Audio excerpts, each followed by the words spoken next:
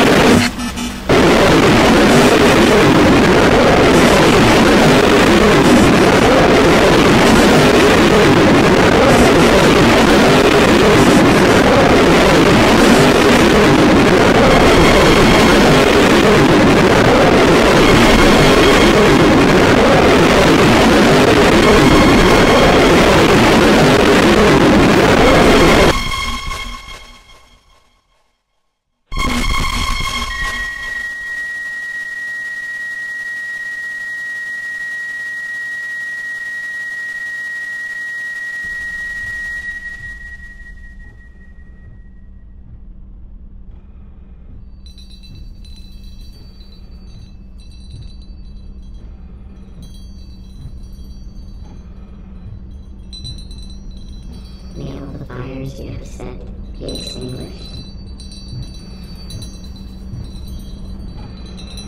May the harm you have caused be cancelled and directed back to you.